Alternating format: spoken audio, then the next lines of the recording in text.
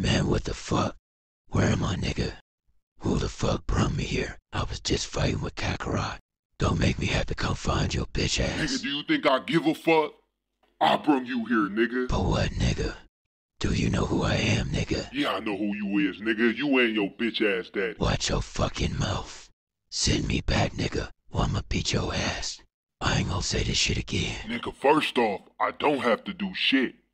Legendary my ass.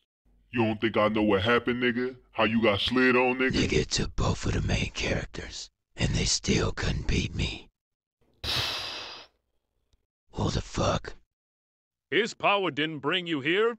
Mine did. I don't give a fuck who did it.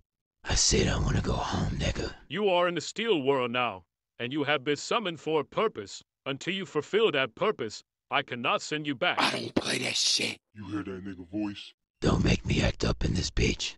That's what you sound like. Oh, so you think I'm fucking playing? What could be so important that you just had to bring me here? I here? was instructed by the higher power to bring you here, whether you like it or not. The fact that I don't even have a choice in the matter is crazy. But I'll do whatever, bro, 'cause I need to get the fuck back.